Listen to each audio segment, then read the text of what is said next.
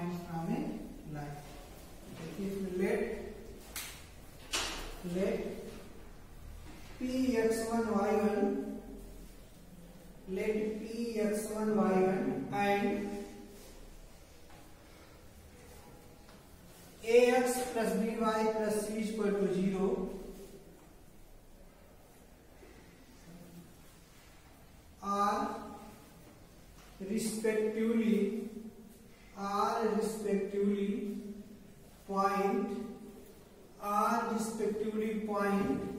And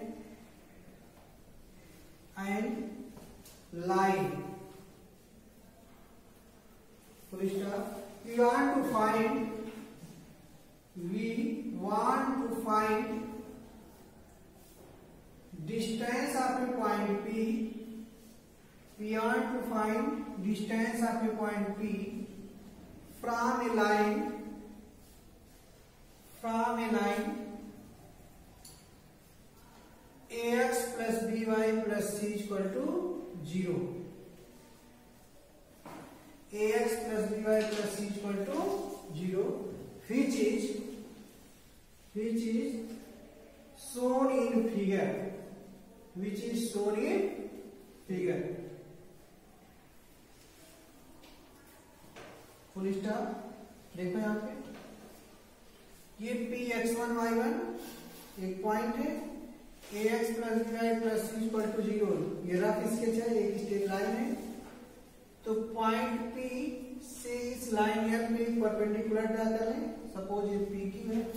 तो length of P Q is the distance of point from a line L clear तो इसको construction से P और are को ज्वाइन कर लेते हैं और पी और एस को ज्वाइन कर लें। ठीक है? तो एक ट्रायंगल फॉर्म हो जाएगा एस आर पी या पी आर एस जिसमें अगर हम पॉइंट आर का कोऑर्डिनेट निकालना चाहें तो देखिए पॉइंट आर किस पे है? एक्स एक्सिस पे है? पॉइंट आर किस पे? एक्स एक्सिस पे और एक्स एक्सिस पे किसी भी पॉइंट का कोऑर्डिनेट क्या होता है? ज़ीरो होता है। इसका मतलब एक्स एक्सिस पे वाई का कोऑर्डिनेट ज़ीरो होता है। तो इसके इक्वेशन अगर y equal to zero put कर देंगे तो x की वैल्यू निकल जाएगी। तो इससे हम एक्स का कोऑर्डिनेट जैसे माइनस सी बाई ए हो जाएगा और पॉइंट का कोऑर्डिनेट क्या हो minus c minus c by a comma zero फिर ये लाइन y एक्सिस को इंटरसेक्ट कर रहा है। किस पे कर रहा है? पॉइंट s पे। तो ये पॉइंट s y एक्सिस पे भी है और लाइन पे भी है। y एक्सिस पे x एक्सिस का कोऑर्डिनेट क्या होता है? ज़ीरो। तो इस लाइन में अगर x एक्सिस की वैल्यू हम ज़ीरो पुट करेंगे put x x x equal to zero in ax plus by plus c equal to zero. Then we get by equal to minus c. So y equal to minus c upon b.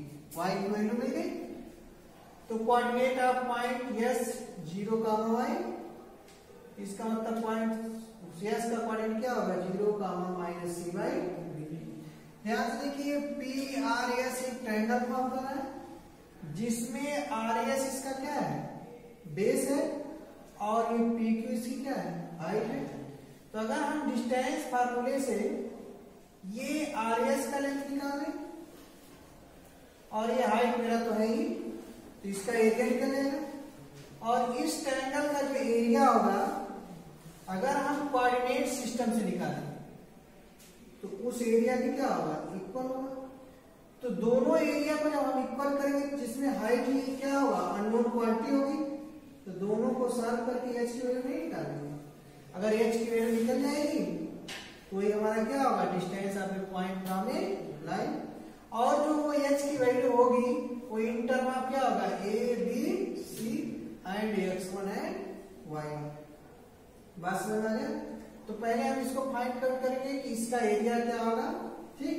तो लिखेंगे area of triangle लिखना नहीं। Area of triangle P R Q equal to one upon two base into height so one upon two base equal to क्या हो जाएगा यहाँ पे? R S और हाइट इक्वल टू क्या हो जाएगा? पी क्यू क्लियर तो one upon two R S की वैल्यू बाई डिस्टेंस फार्मूला से निकाल सकते हैं। तो क्या हो जाएगा? Under root x two minus x one तो आर एस एस बाद में और पहले इसी को एक्स टू वाई टू मानते हैं, इसको एक्स वन वाई टू मान लेते तो क्या हो जाएगा x two minus x one zero plus c upon a का होल स्क्वायर है ना? Plus y two minus y one तो वाई टू की वैल्यू वाई है और वाई वन की वैल्यू क्या है? ज़ीरो है। इसको लिख लेंगे क्या? वाई टू मतलब वाई वन वाई और इसकी वैल्यू क्या है? Zero whole square minus minus minus c by b minus zero का होल स्क्वायर। और हाइट की वैल्यू क्या है यहाँ पे? एच। तो जाएगा one upon two under root c square upon a square plus c square upon b square. Into h. This is also equal to one upon two c square बाहर हो सकता है? समझ ले तो सी को बाहर लेंगे तो क्या हो जाएगा? सी बाहर आ गया इंटू सी और ये ब्रैकेट में क्या हो जाएगा? A square plus b square upon a square b square LCM ले लिए इंटू एच फिर इसका स्क्वायर रूट बाहर लेंगे तो जाएगा c upon two a b ये होगा? और under root a square plus b square into h ये इक्वेशन नंबर क्या हो गया वन तक जवाब फिर लिखेंगे area of triangle area of triangle P R Q by coordinate formula coordinate formula coordinate formula से निकालिए इसको।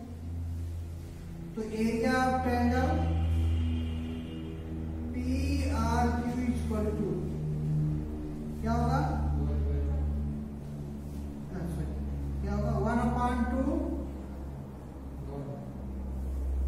x y two minus y three plus x two y three minus y one plus x three y one minus y two ये हो गया अगर आप generally इसको P Q R इसको एक्स वन वाई वन है ही, इसको मान लेते हैं हम एक्स टू वाई टू और इसको मान लेते हैं एक्स थ्री वाई थ्री तो वैल्यू पुट करिए तो one upon two x one की वैल्यू एक्स वन ही है।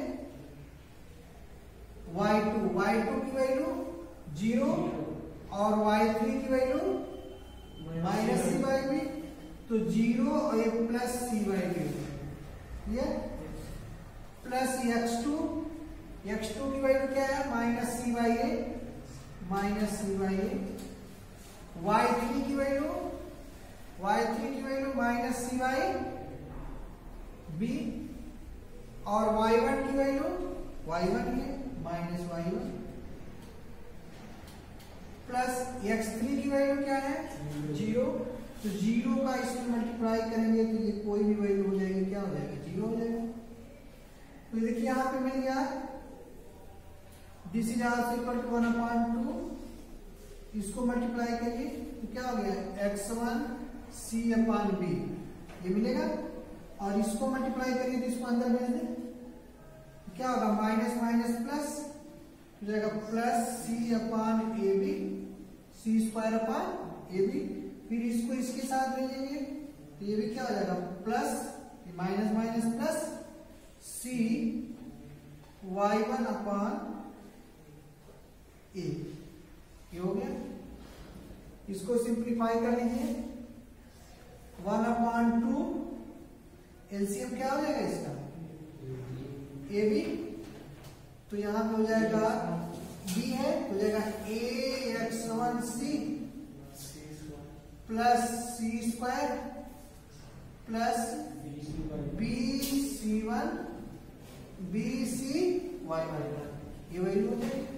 इसको मान लीजिए equation number two equation one और टू को इक्वल करते हैं, देखते हैं क्या होता है। तो इतना परेशान ठीक है?